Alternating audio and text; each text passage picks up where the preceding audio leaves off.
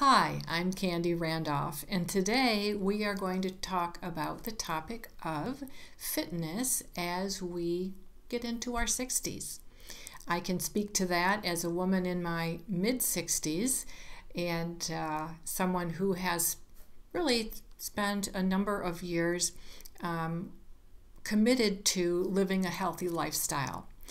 And what I'd like to share with you today in this video really concentrates on fitness and what I do to keep my body in a relatively good shape. I'm not an athlete. I'm not particularly athletic, never have been. But even so, um, it doesn't really matter. You know, it's really more a matter of keeping your body strong and fit and your balance in uh, uh, at its best so that as you get older, you know, 50s, 60s, 70s, 80s, beyond, your body will still perform for you relative to your age. Certainly, um, there is more to living a healthy lifestyle than how we exercise. That's a big piece of it. But the other components are really as essential. And just briefly, that includes nutrition, how you feed and nourish your body. What are you eating or avoiding? Um, are you feeding your body the types of foods that are going to enhance the exercise that you put your body through? I'm by no means perfect in terms of my nutrition, but I do make an effort to eat a balanced diet of healthy foods. I love to snack, I like sugar, and I like carbs. If in my 60s I allowed myself to indulge every time I felt like it, I probably wouldn't fit behind this desk. So there is discipline involved for sure. I don't deprive myself of any of the foods and things that I like, but I am careful uh, to balance proteins, fats, and carbs pretty much every day. It's the way I eat. I've gotten used to it and, and I enjoy it. So, so um, how we feed our body certainly affects our overall fitness. How we feed our mind and our spirit and how we go through our day makes a difference as well uh, having routines that keep us moving forward in a positive direction, like a, a, morning routine or even an evening routine before we go to bed. Things like that that we make a part of our life are all essential components of fitness and a healthy lifestyle as we get older. So, all that said, um, today's video is really going to focus on the fitness aspect. And, and I'm going to share with you as a non-professional, I'm not a fit, obviously not a fitness professional. I'm not educated. Um, so I'm speaking as a person, as a woman in my 60s who has done these things for a period of years after reading and studying and, and writing about them on my blog on Inspire My Style and I've learned, you know, these are the things that are good for us as, as women, as people in midlife and beyond to do. So it's nothing new, nothing um, you're going to go, oh my God, I never would have thought of that. Um, it's all out there, but it's just a matter of literally making a commitment to it and doing it. So when you watch the rest of the video, you'll find that I'm going to talk about several components. One is uh, making sure that I get steps in every day. Sure, you know, you're sitting on the sofa, you get up, you walk into the kitchen to get a cup of coffee. Did you get some steps in? Well, yeah, you got a few. But uh, keeping your body healthy and fit and metabolism moving in a healthy way, which we certainly want as we get older, requires that we do more than, you know, walk from the kitchen to the living room back and forth a few times. And I'll be honest with you, it's more than you know, taking that 10 minute walk, you know, after lunch too. That's nice, but it's really not enough, assuming that you are healthy enough to be able to walk. Um, it's really not enough. So I'll talk about my goal, uh, my daily step goal. And it's easy to say, oh, well, it's too cold outside, or it's, it's raining, or, you know, um, I don't want to mess up my hair, it's too humid, and so I'll just stay in. Well, I have news for you, girlfriend. It doesn't matter whether you're inside or outside. I manage to get in seven to 10,000 steps almost every day without leaving my home. Um, there's a lot of places you can walk inside your home, even if it's small. I don't live in a big home, and I manage to do that. So, um, getting steps in, keeping your body active is important. Along with that is aerobic exercise, where you get your heart rate up. It, you don't have to jump all around because as we get older, most of our bodies, they don't like that anyway. I mean, who wants to be doing 50 jumping jacks at 65 years old? If you want to, go for it. But if you would rather not, your body isn't able to do that anymore, then don't. But there are plenty of low impact aerobics exercise, type exercises that can be done that a relatively healthy person in their 60s and 70s can accomplish. So we talk about that in the in the video that follows. And then we have strength training, you know, and I'm not referring to strength training, you know, lifting 200 pounds. Again, if you want to do that, cool. Um, I certainly don't. And you can accomplish so much uh, towards keeping your body strong without using any weights at all. Um, you use your own body weight. Uh, so again, my focus is not on seeing how big my muscles can get. I don't really want that, but keeping them firm and strong so that I can do the daily tasks that I want to do.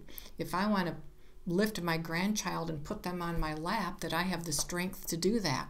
Am I going to pick them up and throw them over my shoulder? No, not at the size they are, but um, but I do want to be able to have fun and play with them or do what I need to do around my home without feeling like I'm going to hurt myself because I have no st- muscle strength.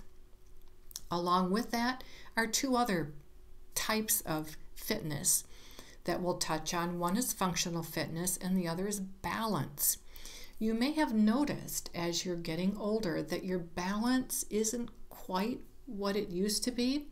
And if you haven't noticed that, you probably will at some point. The natural changes in our body, in our hearing, um, and how our brain works cause us to have the tendency to not be quite as balanced as we used to be in our younger years. So, doing exercises that work on our balance are so very important. And the same goes for functional fitness. Functional fitness is doing exercises that include several different body movements that would mimic things like bending down to pick some, pick up a bag of groceries off the floor or take picking something up off the floor and then putting into it up on a shelf or into a cabinet maybe bending down to um, tie your shoe, um, just different movements, composite movements, they're called, that are part of our daily life. That if we don't remind our body, oh, by the way, I want you to be able to do this going forward, it might forget. The more sedentary we are, the more our body's going to forget what it used to do. And I don't know about you, but I want mine to remember all of these things so that as I go through my years, Lord willing, I stay healthy. I'm very fortunate to be healthy today, that I can still um, go for those walks, uh, climb the stairs, uh, put away my own groceries, lift something up above my head, and, and feel confident that I can do that, bend down and get back up. Um, those, those are all composite movements that are part of fitness. So, all that said, uh, the rest of the video is going to go into a little bit more detail about the specific types of exercises I do. And just remember, I'm no exercise queen. These are all things I've learned through experience, through reading, studying, and doing. So I hope that you find some motivation and inspiration and maybe add some of these types of exercises to your daily, weekly exercise and fitness routine. So let's get down to the specifics.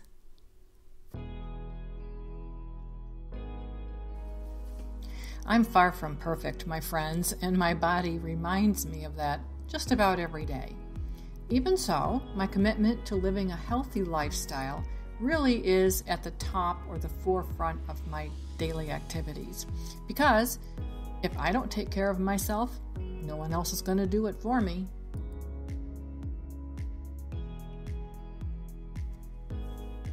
There are several essentials to a healthy lifestyle. Exercise is one of them. Certainly, eating well, eating balanced meals, getting the right nutrients for our bodies that are getting older. Self care, giving our body, mind, and heart the regular care they need to keep us positive and motivated every day. In this video, though, we're going to concentrate on exercise, a commitment to the different forms of exercise our bodies need as we get older. Walking is great, and I love to walk, but that in and of itself is not enough for us to maintain our fitness as we get older. Walking is a part of it, of course. Other types of similar exercise would be biking, whether it's a stationary bike or a bicycle outside strength training, keeping our muscles strong, low impact aerobics, getting our heart rate moving without jumping all around. And then, as part of strength training, exercises that include functional fitness and balance so that we can move around as we need to in our daily activities without hurting ourselves. My aim is to get in two types of exercise on both days. I always want to get in my, some steps and get some walking in. Then I might include an aerobic workout one day, strength training another day, um, take a day a week off. But for the most part, I'm doing one to two types of exercises just about every day. Where I live, it's not always possible to walk outside. It's just too cold, rainy, snowy, otherwise yucky. So if the weather isn't cooperative, I create an indoor walking route throughout my home.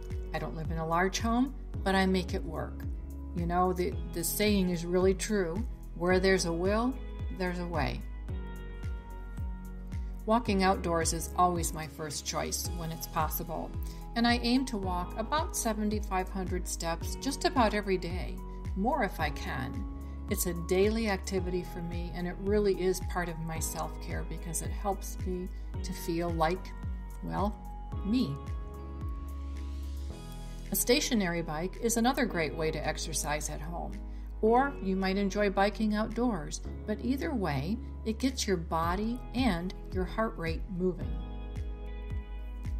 Floor exercises are one type of strength training um, that we can do. And I aim to get in my um, strength training exercises several times a week. So here's just a couple of examples crunches and glute bridges.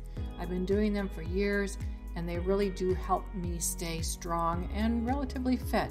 It really is amazing what you can accomplish by using just your body weight. It's all part of keeping our bodies strong and limber as we age.